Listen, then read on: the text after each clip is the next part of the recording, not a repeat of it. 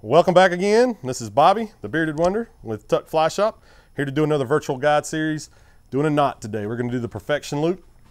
Before we get into that, hit the like, subscribe, and the notification bell. As always, I always mention that. Just got to give you that reminder. Also, check us out there on Facebook, Instagram, uh, and our podcast, Tuckcast with a splash of bourbon. Shannon does a great job on that. I sometimes sound pretty good too myself. So let's jump into the knot today. Perfection loop. What is a perfection loop used for?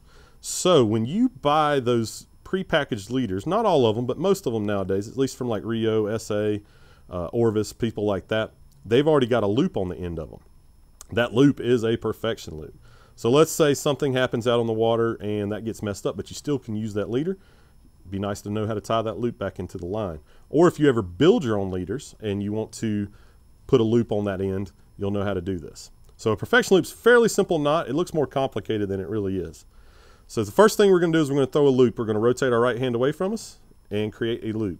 Oh, let me mention this before I get into it. Give yourself plenty of line. Don't skimp on this. So we rotate our right hand away from us, create this loop. Draw it down so it's not super big, but big enough where you'll be able to pinch through it. You'll see why in a second. All right, so everybody got that. Then we're going to take we're going to create a lasso around that loop. So we're basically creating a second loop if you see that. And as we do that, I'm going to do it this way too so you can see what it looks like from my side. That's what it looks like.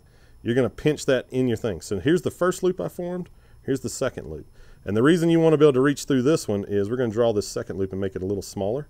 You're going to reach through the first and grab the second, just like that. And you're going to pull this out.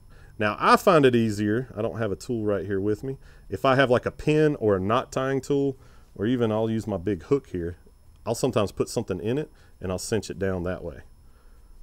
And it just makes it a little easier to get that knot super tight. That is essentially the perfection loop tied fairly quickly. Um, the one thing on a perfection loop that you got to be careful of is your tag end. You don't want to trim it right up against the knot. It does when it seats in. It sometimes doesn't seat all the way. So you want to leave just a smidge, not much, but just a little bit. And I don't know if y'all can see that or not. I'll try to hold it in camera just about that much.